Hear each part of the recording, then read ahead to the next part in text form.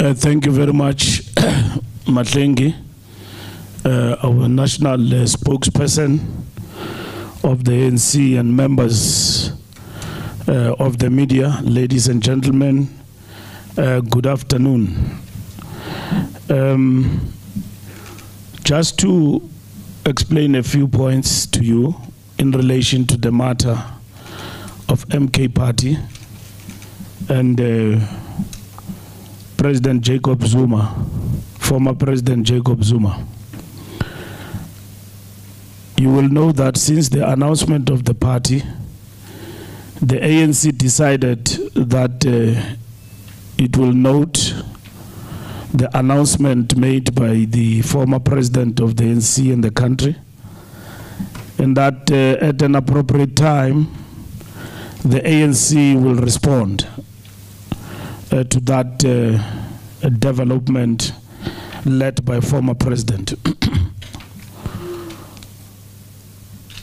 Subsequent to that, we held a, a meeting of the National Executive Committee in Mbombela to finalize the January 8 preparations and the January 8 statement.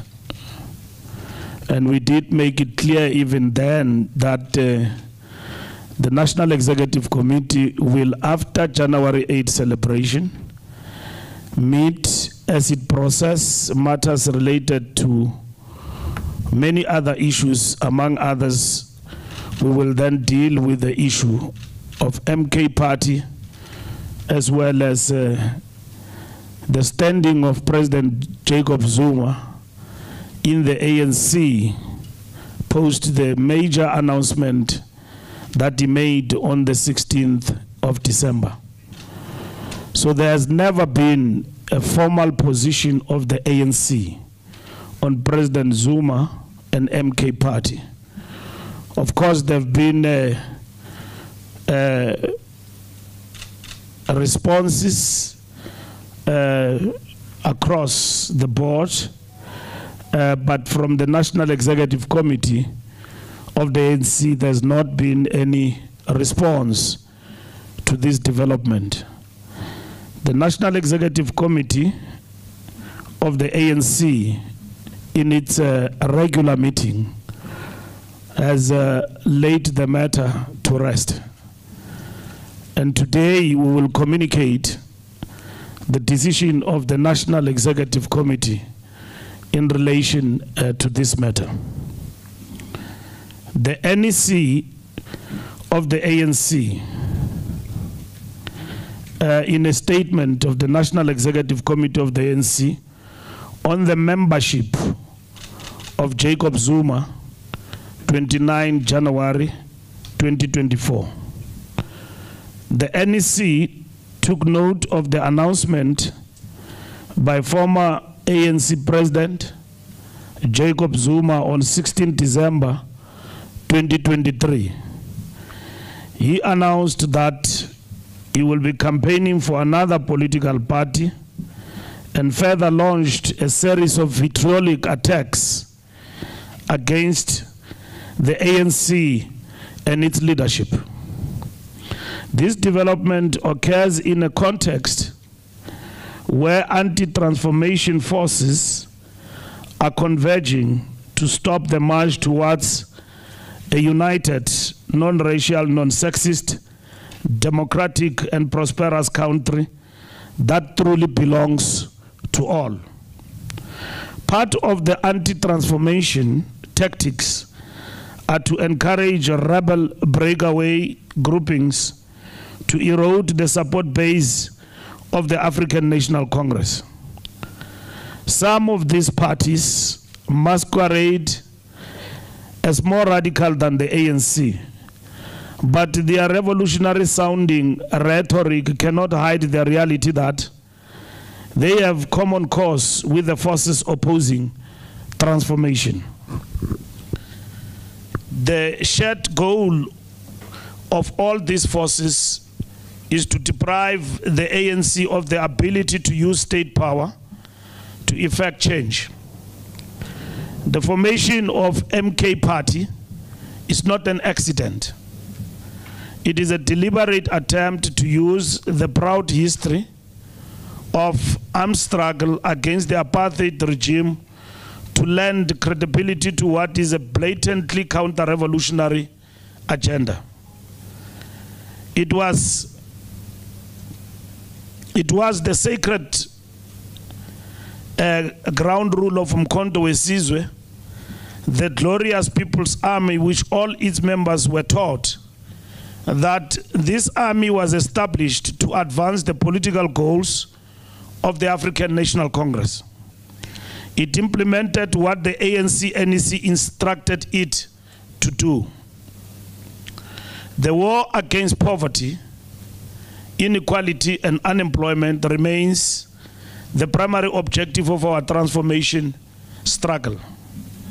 At this point in the national democratic revolution, there is no need to advance this program through the opportunistic use of military symbolism. The challenges of our struggle for a better life for all are difficult and diverse and require honest and dedicated leaders. To suggest that the solutions are easy is dishonest and smacks of populist self-gratification. At its last two national conferences, the ANC vowed to renew itself to more effectively address society's challenges and conduct its affairs in line with its core values. The ANC is committed to developing and, where necessary, correcting its members and leaders. However, as renewal gains momentum, Zuma and others whose conduct is in conflict with our values and principles will find themselves outside the African National Congress. The JZ Party project aims to cast doubt on our entire constitutional democracy. The ANC categorically rejects the dangerous suggestion that our electoral system can and will be manipulated. The Independent Electoral Committee is one of the most trusted public institutions. The entire voting process and counting process is monitored by party agents from all competing parties and international observers who have repeatedly declared our elections to be free and fair. The people of South Africa and the ANC will not allow a Renamo UNITA project in our country to discredit democratic outcomes that do not favor them and use violence against the people as a bargaining tool. This is the fundamental danger of the JZ project. It targets extremist instincts in our body politic and riles up a political base to foment social unrest. His actions reinforces the work of the primary right-wing opponents of the National Democratic Revolution. In this regard, in assuming this reactionary public posture, former President Zuma is actively asserting himself as the figurehead of counter-revolution in South Africa. Former President Jacob Zuma is actively impugning the integrity of the ANC and campaigning to dislodge the ANC from power while claiming that he has not terminated his membership.